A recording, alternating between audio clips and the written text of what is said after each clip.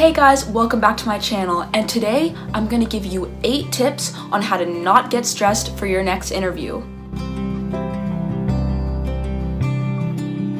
So I've gotten so many comments on my Home Depot, Olive Garden, and Shake Shack videos telling me that you guys are nervous for your interview or you haven't had an interview in years and wish me good luck. So I decided to make a concise video for you guys on how to take that anxiety and fear and actually convert it to confidence. Whether it's for an interview, a presentation, a group project, or any of the above, you can use these tips to help you be better prepared when it comes to nervousness. So tip number one is persuasion over impressing. Always be thinking about how you can help others because they value that. Now, it's not always about what you have to offer, but most importantly, how you deliver it. When it comes to an interview, persuasion is way more important than boasting all that you've achieved or your accomplishments. So the reason that they're interviewing you for the position is because they need help. They want to see if you can contribute the necessary actions needed to complete the tasks. So the big thing that you want to do is find out what they need. Whether it's a coding job, a fast food job, a retail job, find out what they need and let them know that you can do just that. Think about how you can contribute to the company and how you can persuade them that you're a fit candidate that can fulfill all the tasks that they need. Alright, tip number two is remember your value. Now remember, you're helping them. You're of value to their company, which is why they're calling you in for the next step to get hired. Always remember what you have to offer, because you actually have more than you might think. Your brains, helpfulness, work ethic, and credibility are all qualities that made them call you in for this interview. Don't talk yourself down. Remember all that you have to offer for them. Now, you're just letting them know about the unique qualities that you have, that you can offer to benefit their company. The biggest thing is stop thinking about what they're thinking about you.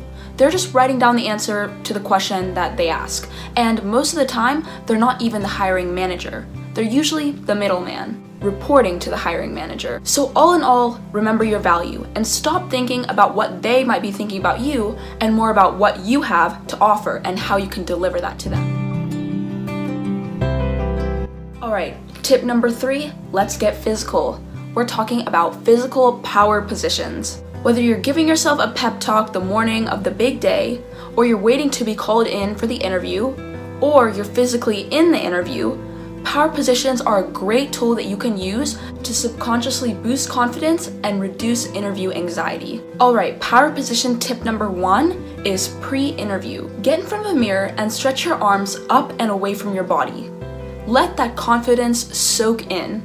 You can even close your eyes and imagine that you're standing on top of a big mountain with your arms outstretched. This helps increase blood flow to all parts of your body, letting nervousness out and bringing confidence in. Similarly, just keeping your arms away from your body rather than touching and inwards can increase confidence. So crossing your arms or keeping your hands awkwardly close to you or in your pockets not only externally shows weakness, but internally can make you feel less confident and powerless. Rather, keeping your shoulders up or keeping your hands on your hips or behind your head can outwardly show openness and can also make you feel more powerful and self-assured. Power position tip number two is during the interview. During the interview, there are many things that you can do to subtly show confidence. For example, a firm handshake. Weak handshakes can show signs of nervousness or insecurities, which you don't want to give that impression off on your interview. So make sure you greet them with a firm handshake and that can already show them that you are confident for the interview. Now for feeling confident in the interview, this is when power positions come into play. If you're going to be standing during the interview, then power position tip number one can help you feel more self-assured. Now, if you're going to be sitting in a chair, there's many things that we subconsciously do that actually make us internally feel weaker. For example, hunching your back instead of sitting upright can make you feel less confident in yourself. Also, crisscrossing your legs or your arms or having your hands in your lap is a bad move. Keep your feet a good distance apart, your hands on your knees, and lean in just a little to show that you're engaged with the interviewer. Definitely do not be shy to make your presence known. Alright, moving on to tip number four, treat the interview like a meeting or a conversation rather than an interview. Now, this can be a tough one for some people because you're actually tricking your mind to think of the interview as something different than what you've been accustomed to it as. But the more you think about this interview as an end all, be all, super high intensity, judgmental analysis of you, the more nervous you're gonna be. Instead, look at it more as a discussion. They ask you a question, and you're discussing your viewpoints on those certain questions. Don't see it as an interviewer and an interviewee. Instead, see it as two people with similar backgrounds discussing on certain topics and having a few exchange of words. Alright, tip number five preparing answers to common questions. Now, one of the best things that you guys are already doing is watching videos like these to prepare ahead of time for the interview. Now, make sure that you guys are preparing yourself for common questions that can be asked on the interview and also prepping answers ahead of time that you can have on hand to use. This will take that burden off of you since you know that you have answers that you have prepared in advance that you can use during the interview. Alright, tip number six is wearing our confidence. Dress to impress yourself. Here's a reminder for you that when you look your best, you're gonna feel your best, and in turn, you're gonna do better on the interview. Whether you choose to wear very professional business attire or just your favorite shirt with really comfy shoes, make sure that you are feeling your best about the way that you dress. This can subconsciously boost your confidence and increase the view that you have on yourself, which can be reflected onto others. Alright, tip number seven is taking your time to answer questions. Take a deep breath and pause instead of saying, I don't know or um.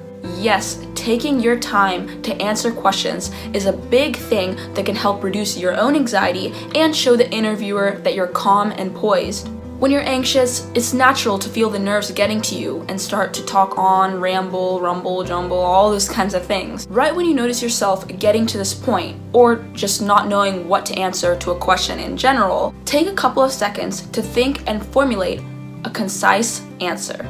Remember, it's better to be more in depth and talk more rather than cutting the answer short or saying I don't know or um. Alright, tip number eight is getting comfortable in your interview environment. So with COVID rates fluctuating, you might have an in-person interview or you might have it over the phone or through Zoom. So if you have an online interview, maybe dial in through Zoom or call a friend and exchange some questions and answers that could be asked in the interview just to get comfortable with that type of environment. Experiment with the video software you're going to be using, for example Zoom, so that when interview day comes, there's no hindrances or malfunctions. For an in-person interview, try and get in the building or the room that your interview is going to be held in. Also, try and get a friend on the phone and go back and forth asking some questions and practicing some answers or some of the tips that you're going to be taking from this video and applying in your interview. Remember that your interview environment is not as scary as a place as you make it out to be. It's just a new place and you just have to learn to get comfortable in that environment. And the bonus tip that I have for you guys that is actually tip number nine is all about eating clean. Whether you have a morning, afternoon, or evening interview, make sure you're getting some healthy nutrition into your body. Eat about an hour or an hour and a half before your interview so you give your body enough time to digest the food and use it, use the nutrients for sustained energy. Go for whole grain foods and foods high in vitamin B like citric fruits, avocados, and eggs. Make sure you're watching out for your sugar and caffeine intake because those can negatively impact your sustained energy and actually drain it out after a while. So those are the eight tips that I have for you guys to not be nervous for your interview. Make sure that you're practicing them before you go to your interview so that when you do get to your interview, you ace it with confidence. Let's say goodbye to those nagging nerves. Feel free to comment down below any other questions that you guys have while going through this interview process. I know it can get tedious at times and crazy at times, but just remember that you should be focusing on what you can control, not what you can't control. Thank you guys for watching.